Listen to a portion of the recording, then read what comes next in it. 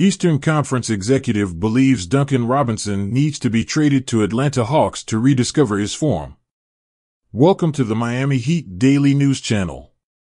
Subscribe and activate the notification bell to follow everything about our team. An Eastern Conference executive has suggested that Duncan Robinson needs to leave the Miami Heat to find his form once again.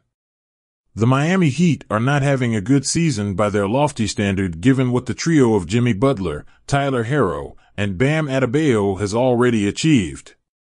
Roster deficiencies have been costing the Heat games, especially when they lack depth in the front court and have shooters on big contracts that no longer make shots. Heavy Sports has revealed that an unnamed Eastern Conference executive believes Duncan Robinson could thrive with the Atlanta Hawks if the Heat decides to make a move to acquire John Collins and use Robinson's contract as salary filler. Man, Robinson needs a change of scenery, the executive said. Just getting him somewhere else and letting him play, let him build up his confidence again. He can be a dangerous floor spacer for a team like Atlanta with Trae, Young, and DeJounte Murray.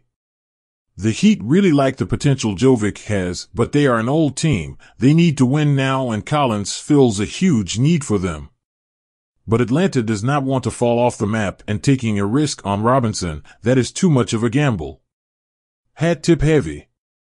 Robinson was crucial for the Heat during their run to the 2020 finals, but has struggled to remain that consistent over the last two seasons. For a shooting specialist with very poor defensive skills, Robinson can't be played unless he is hitting shots. Can the Hawks use Duncan Robinson? The Hawks are missing an element of extra spacing on the roster after trading away Kevin Huerter and probably regretting it now, given the success he's having with the Sacramento Kings. Robinson on the Heat is the only shooting threat, but him on the Hawks would definitely open up more space on the court for him. The Hawks need to remedy their guard defense, so Duncan would be a horrible fit for that. However, having someone with his natural shooting ability can be very valuable for a contending team. It'd be a risk, given the years of contract Duncan is still owed made the Jazz disqualify the Heat from trade talks. But if it works here, it will be amazing for Duncan and both teams, especially if the Heat acquire John Collins. Write your opinions in the comments, it's very important to us.